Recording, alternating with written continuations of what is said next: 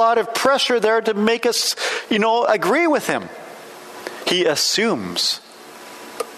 We see it that way. He assumes that he's writing to Christians whom he knows will treasure God. You see, Peter assumes we don't want to waste our lives. He assumes his hearers don't want to glorify the wrong things, live for the wrong ambitions. And that's why Peter follows up that passage from last week that might be some of the hardest teaching in the New Testament. Hardest to swallow, anyway. Would you agree? Be subject to every human institution. Just wait till two weeks from now. But he follows up a really hard passage there with a rhetorical question. Look at verse 20.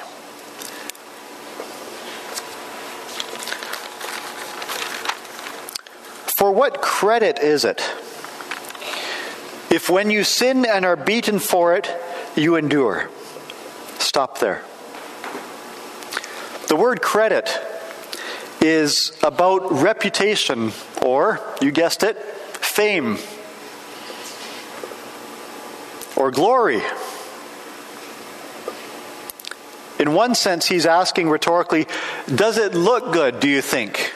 Does it look good? When you get caught doing wrong and you endure the punishment, does that look good? And of course, he believes his readers, people living under an empire who was an emperor who was hostile to Christianity, people living under local governors who were pagans and unfriendly to Christians, even writing in those audiences of those churches in Pontus and Galatia and Cappadocia and Asia and Bithynia, the places that Peter is writing to, in those churches there were slaves. Probably many. And even the slaves who were indentured because of debt or war, probably to service of masters who were sometimes unfair and abusive, maybe cruel. All those people hearing what Peter wrote to those churches, Peter is thinking they will agree that it doesn't look good to get punished for doing what is wrong. Enduring a fair punishment doesn't make you look good, right? But Peter takes it farther. That was the first half of verse 20. Look what he says next. Never mind what makes you and me look good, what makes God look good? In verse 20, but if when you do good and suffer for it you endure, then what? This is a gracious thing in the sight of God. Remember, he started by asking if it was any credit at the beginning of verse 20. If it was any credit, if it looked good or made for a good reputation when we endure punishment for doing wrong, but he says next, if you do good and are still punished, this is a gracious thing in the sight of God. Or literally, according to the Greek, he is saying, this is grace before God. In other words, when Christians live like that, there's only one way to explain it. When Christians live like that, doing good and even because of that, enduring suffering,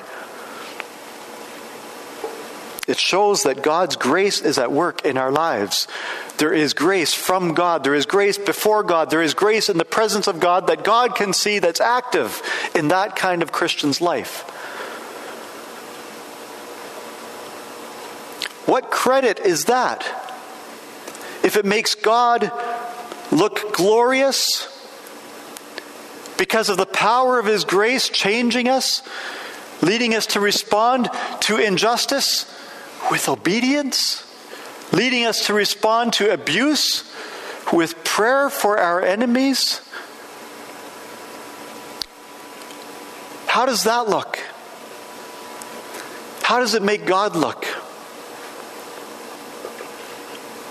It shows the power of His grace in and through us, and so it makes God look glorious. So, Peter in verse 20 assumed that his readers would not want to glorify the wrong sorts of things, living lives that value and, and like Gollum with that ring show that this is precious to me when I cling to this sin. He assumed that we Christians would not want to waste our lives on the wrong things. He assumed it. But then he tells us something that we need to learn. He tells his readers something about God's grace, how it helps us, how it shapes our lives, how it makes God look glorious as his grace works through us. And he doesn't assume this time that we already agree. Because you know what? Even if we're wired to, to agree with him, even if we're predisposed to go, oh, yeah, that sounds probably true, we forget. He doesn't assume this, he wants to teach us this. Because this is something that all followers of Christ need to learn again and again and again. So in verse 21, he puts out a call to all Christians. Maybe that's not quite right. Maybe he just acknowledges there is a call to all Christians. Look at verse 21 with me. For to this you have been called.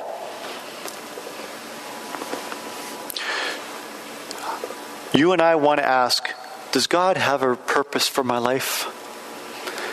What's my mission? You and I want to look around and see if we can find some kind of fulfillment, some kind of career path that satisfies me, some kind of work that makes me happy, something that makes me seem important. Let me confess to you, part of my motivation when I first started thinking about being a pastor was because I thought it would look good. Was I ever stupid? And now you're agreeing with me.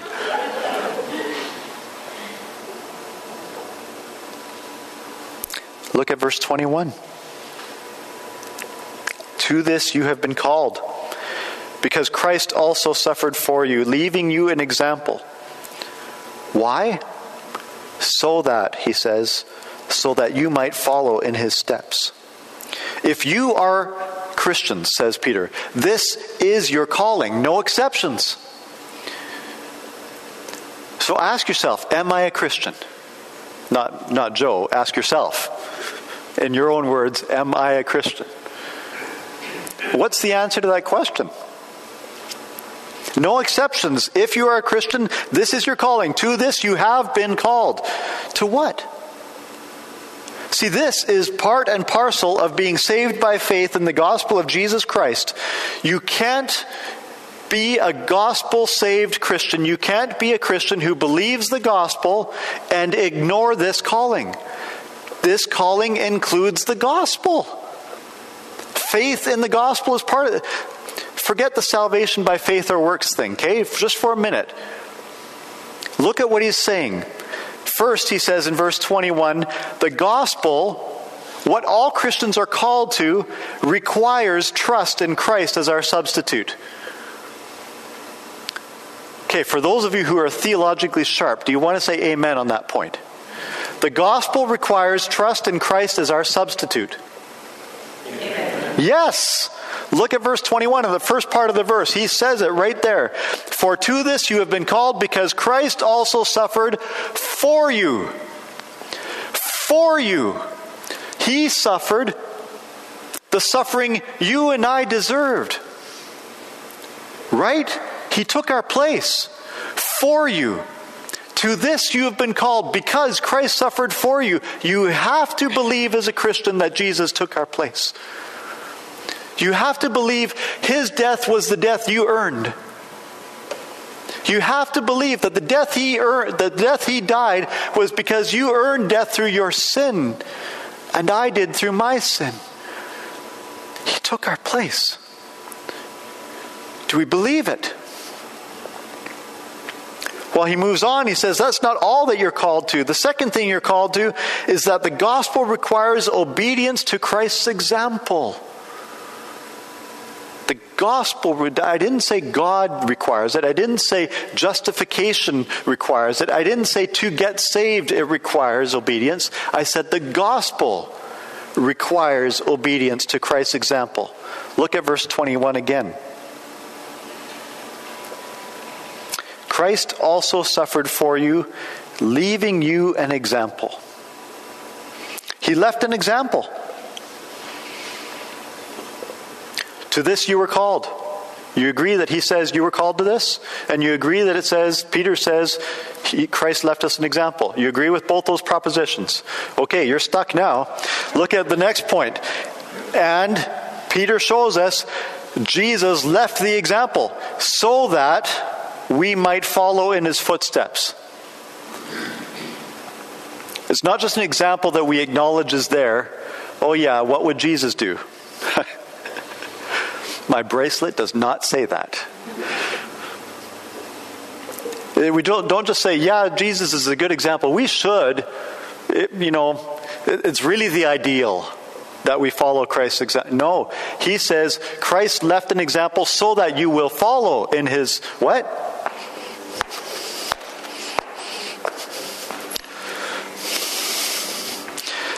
We can't really get around this because Peter said, To this you were called.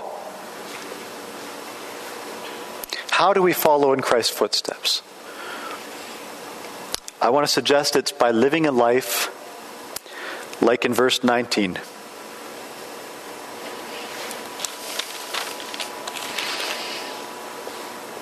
For this is a gracious thing. Again, the Greek says, For this is grace when mindful of God, with your mind on God, because of God, as a servant of God, for the glory of God. When mindful of God, one endures sorrows while suffering unjustly. And I want to suggest further that it's not only like that, it's also like verse 20. It's by living a life like verse 20. But if when you do good and suffer for it, you endure, this is grace in the sight of God. The life that glorifies God, that makes God look good, is a life that not only believes the gospel, you were called to this, to believe the gospel. Christ suffered for you. The life that glorifies God, that makes God look that good, is a life that believes the gospel and a life that results from believing the gospel. That kind of life magnifies oh, it shows off God's grace. A life that is changed because of the gospel demonstrates to the people who can see who God is. See, this isn't fatalism, because you remember that Peter's telling us to be subject to every human institution back in verse 13. Every, every authority, but I want to reassure you this is not fatalism, just putting up with our lot in life. This is purpose, this is intention, this is a mission in living for God and to show what God is like by how we live lives that are changed by the gospel we believe. So it's not wrong to ask God to take the suffering from us. And I know some of you are in that boat. It wasn't wrong for Christians to pray for a better Caesar. And we know they did. And it wasn't wrong for Christian slaves to pray for their freedom. But it is so right. And it is so full of grace when we endure the hardships that God leads us to. When we endure those hardships when that endurance makes God's grace look good. It's so right. Hard teaching? What do you think? Look with me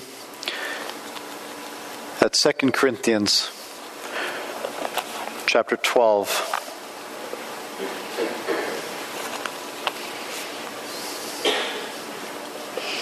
Beginning in verse 8. Paul says, Three times I asked. No, he didn't say that. Verse 8, Paul says, for 2 Corinthians 12, verse 8, three times I pleaded. Three times I pleaded with the Lord about this, that it should leave me. The thing that's provoking his suffering, the thing that's causing him hardship.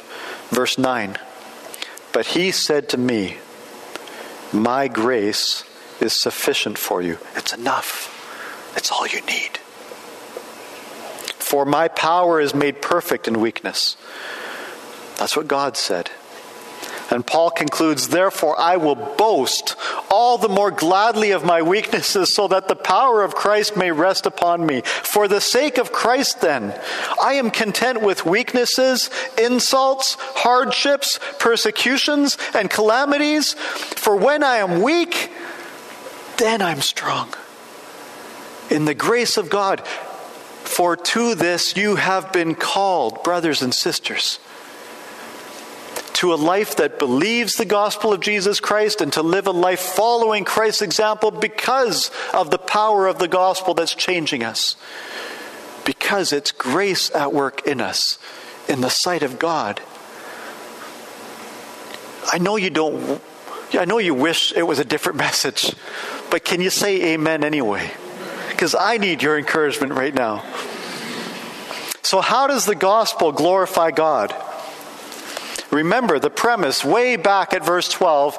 Peter's telling us to live lives that will one day lead to God's glory as people can see how we're living and worship, come to worship one day on by judgment day the God that we serve. He wants our lives to glorify God. So how does the gospel glorify God? Peter assumed we would want to that's the next slide.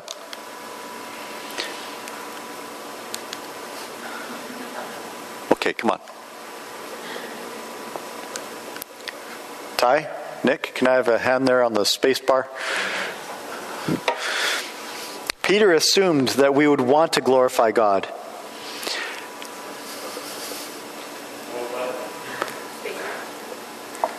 Or arrow? Thanks, Glenn.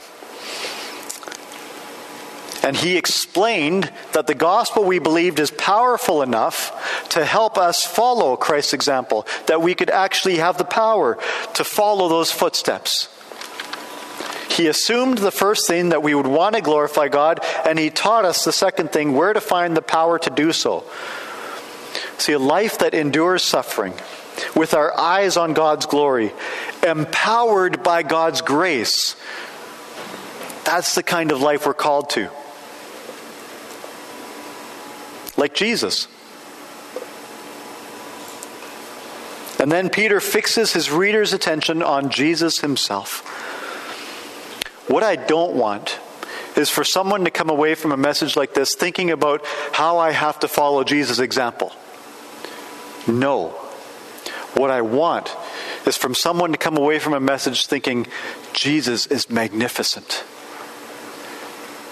because it's the worship of Him, it's the enjoyment of the grace that we find in His gospel that will give us the power to walk in His footsteps. If we worship the footsteps, if we worship the obedience, if we admire the self discipline that somehow manages to control ourselves and live a godly, righteous life, we're becoming idol worshippers of holiness, not worshippers of Christ and followers of Him.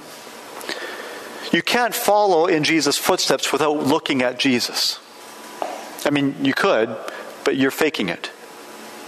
It doesn't bring him glory. How does the gospel glorify God? Peter focuses us on Jesus himself here. If the gospel we believe is the message about Jesus Christ, how did Jesus glorify God? And Peter gives us four answers. Jesus glorified God through his innocence, through his obedience, through his atonement, and through his accomplishment. And the first thing we see is Jesus' innocence in verse 22.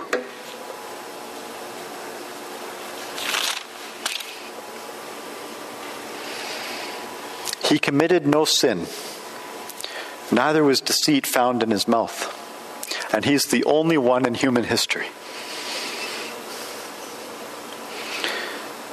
Being sinless meant that Jesus always loved God more than anything. more than the things that attract the eye, more than the things that the flesh craves, more than the pride and the admiration that the heart seeks. And then Peter says, No deceit was found in his mouth. No deceit means Jesus was always truthful. Okay, think about your own. life. I'm thinking about my week. Okay, I could probably just cover yesterday. Think about your life. How can someone live a life with no deceit coming from this mouth? Let me tell you how. Because nothing has the power to tempt Jesus to lie. When the God Jesus serves, the Father he loves, is so great, nothing has the power to tempt Jesus away from the Father's love. Why did Jesus obey the Father? John tells us because he loved him.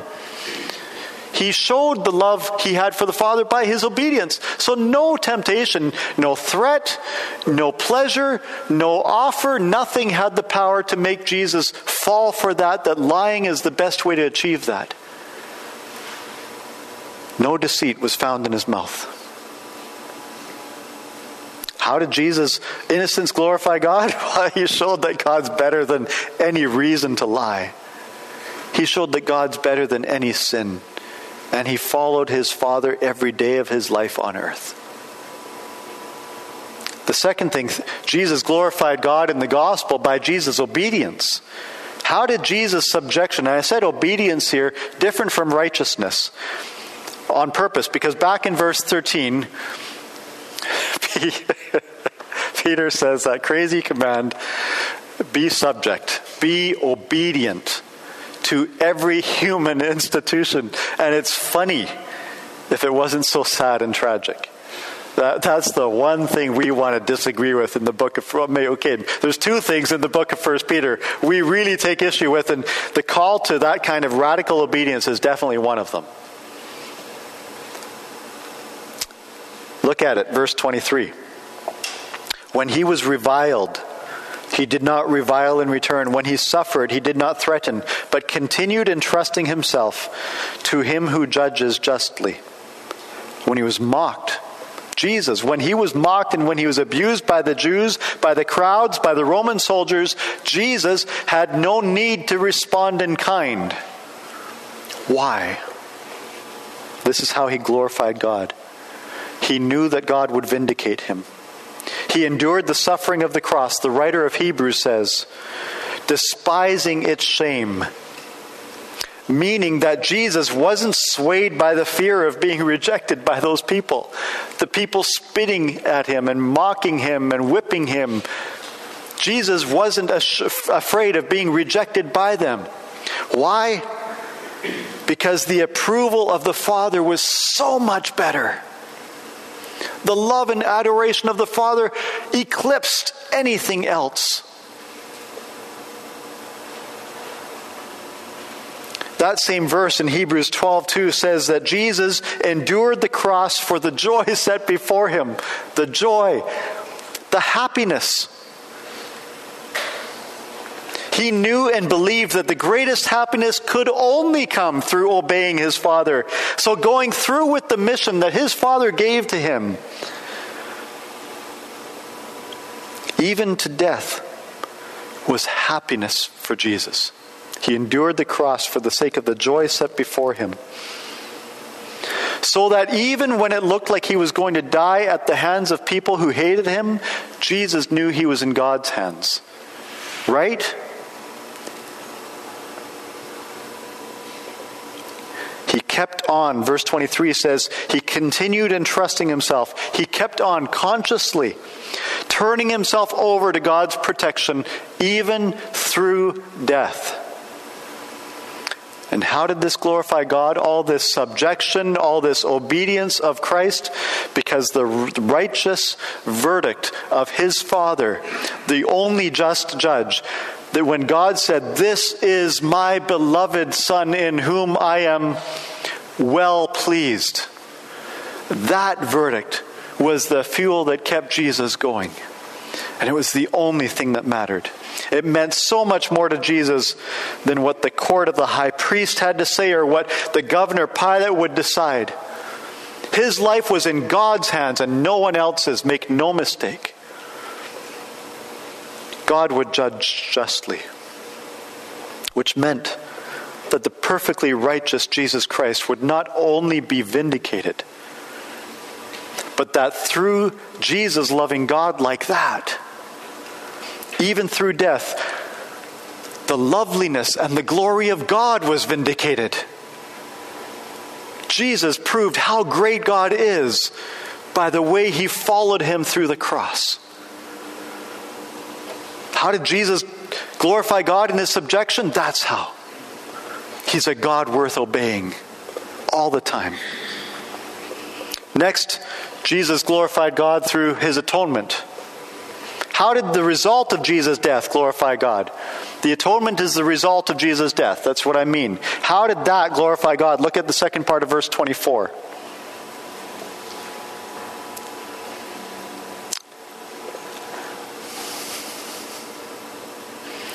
I see I skipped a point, but you can catch up. Thank you. He himself bore our sins in his body on the tree that we might die to sin and live to righteousness. Jesus could always see that his Father, we can't see this.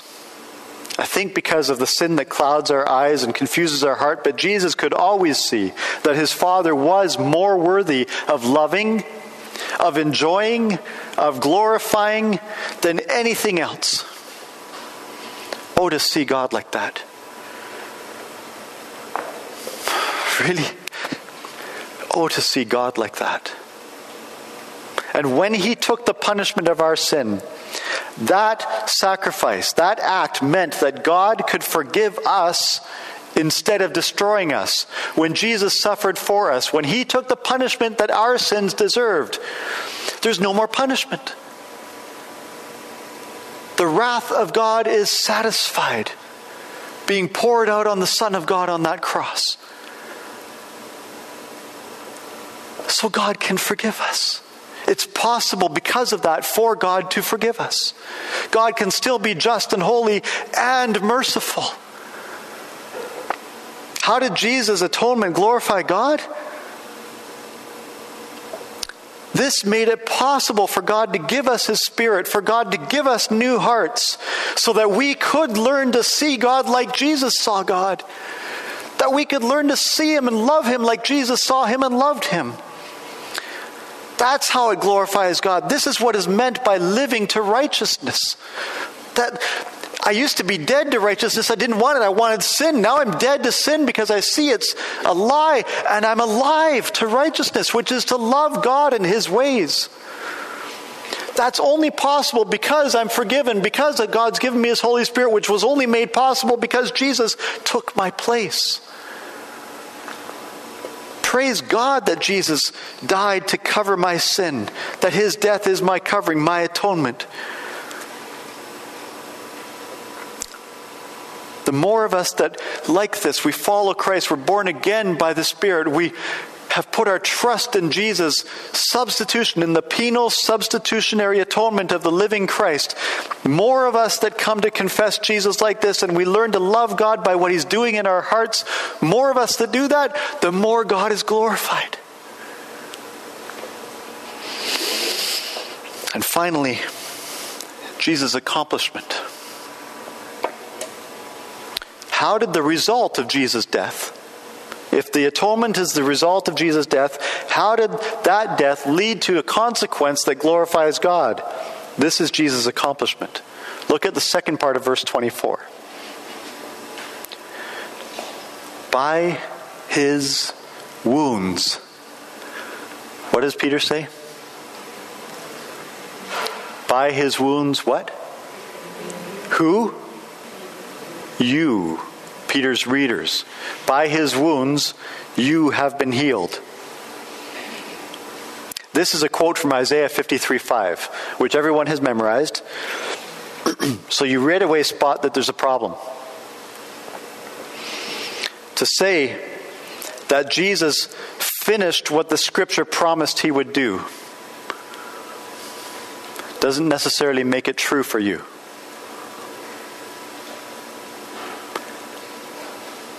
There's an element missing between what Jesus accomplished and it making a difference in your life and in mine. It has to be applied. By taking our place, our sin, our death, Jesus purchased for us. He gave us the place, the approval of God, and the everlasting life that Jesus deserved. We were broken. We need to be healed. And Peter says in this verse, You have now been healed. You Christians. You followers of Christ. You who are called to this gospel and to this grace of the gospel that changes you. You have now been healed. If you believe it. We were doomed. Jesus has saved us. Isaiah 53 5 is so marvelous. But he was wounded for our transgressions, he was crushed for our iniquities. Upon him was the chastisement that brought us peace, and with his stripes we are healed. 600 years before Christ, Isaiah wrote that and Jesus fulfilled it. How does it glorify God when Jesus saves people? When Jesus takes their place? By showing forth this truth that God is the judge who judges sin. God is the judge who judges evil. He deals with it. He never takes a bribe, He never winks at what is wrong and by showing that God is loving and gracious and quick to forgive. He is merciful and patient. More than any other time in world history. And think about that just for a second. Of all the things that have ever happened, there's one time stands out as the time when God was shown to be most glorious, most amazing. When the Son of God died on that cross, Jesus showed the glory of God. That's how God was glorified when Christ died on that cross. God is just, He is righteous, and He is loving and merciful. Both. That's how our healing displays how wonderful God is in Jesus Christ when we believe it, when it's applied. By His wounds, you have now been healed if you believe it. And lastly, this gospel reminds us to want God to be glorified. Peter doesn't have to tell us to think that. He just needed to remind us why we should want it. The gospel reminds us to want God to be glorified. Verse 25 the last verse in Peter, 1 Peter chapter 2 comes from the next verse in Isaiah 53, verse 6, but it's not an exact quote. Look at verse 25 with me. Peter says, For you were straying like sheep, but have now returned to the shepherd and overseer of your souls. You were straying like sheep. Peter changes Isaiah's words. Isaiah said, All we like sheep have gone astray. Peter says, You were straying like sheep. So his point is not that, not that, um, I just lost my train of thought. His, Isaiah said, All we like sheep have gone astray. Right. Uh, so Peter's point is not that we are lost. We aren't lost. If we are followers of Jesus Christ, if we are confessing the name of Jesus, if we have believed in his gospel, we aren't lost. That's not Peter's point. His point is to show that now we are found. We're found. He's reminding his readers who God is and what God is what God has done through Jesus and how much God loves us, how much God will take care of us even through the suffering in our life, even through death, and you know what? Into a million years of happiness. He started this reminder, Peter did back in verse 20.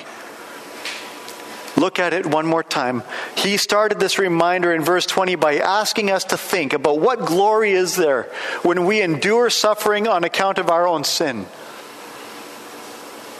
And he knew that we only needed to be reminded how wonderful God is. And we only discovered that through the gospel of Jesus Christ. And we only discover how wonderful God is in the gospel of Jesus Christ by focusing on Jesus Christ. What he did and who he is. We needed that reminder so that we would want to glorify God, that we would agree that it's better to obey God, to live good lives, to follow the footsteps of Christ, and to show off how wonderful and glorious our God really is. Do we want that? I'm appealing. Do we want that?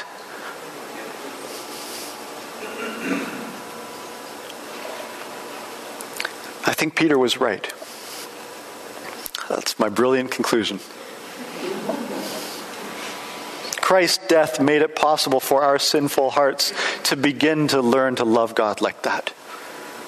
To this you were called, to follow that example, to love God like that in innocence and righteousness and obedience, and hope that we would continually entrust ourselves to the God who judges justly to know that we are we were he, broken, but now we have been returned to the shepherd and overseer of our souls. We've been healed. For the next 10 million years, we will sing that glorious truth. And then we'll get better at it for the next 10 million. Does this gospel stir your heart? I sure hope so because Christians are called to this. It's our calling, all of us to believe these things about Jesus, to trust Jesus, to follow Jesus' example in the power of God's grace. So we fix our eyes on God, Peter said, mindful of Him. We live like servants of God, following the footsteps of Jesus Christ. And our hope, in addition to all that, through the way we live our lives, is that as God glorifies His grace by making us a little bit more like Jesus, that friends and family and loved ones, lost ones,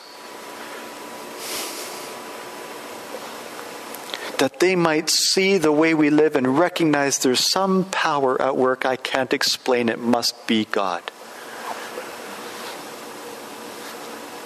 Even spouses and neighbors and those in authority over us, even when it's unfair. What if they saw and turned? Even kings and rulers and slave masters and abusive employers, what if they saw that grace and believed it? It's our hope that they will. That they would come to believe that same gospel, that they would too would be called to this that they who are still lost and wandering will also be returned to the shepherd and overseer of their souls. That's what Jesus did for us when he showed us what God is like. I close from a parable in Luke 14, Luke 15. He told them this parable What man of you, having a hundred sheep, if he has lost one of them, does not leave the 99 in the open country and go after that one that is lost until he finds it. And when he's found it, he lays it on his shoulders, rejoicing. And when he comes home, he calls together his friends and his neighbors, saying to them, Rejoice with me, for I have found my sheep that was lost. Just so, I tell you, there will be more joy in heaven over one sinner who repents than over 99 righteous persons who'd need no repentance. Father, we trust that as your word does its work in our hearts and in, our minds, reminding us again of the glorious gospel of your Son, that your Holy Spirit would take this conviction, take this motivation, take this this building up and this encouragement and use it, Lord, to lead us into following the footsteps of your Son, his holiness, his perfection, his righteousness, his love for you. Lord, would you teach us to do what Jesus did in this way, that as his eyes were always on you, would you help us to keep our eyes on him? Do this by the power of your Holy Spirit, who is ministering to us to help us glorify Jesus. And do this, Lord, and we also pray that some will come to salvation and come to believe this same gospel because you are working in our lives. We praise you that you would use sinners like us. We thank you for your glorious grace.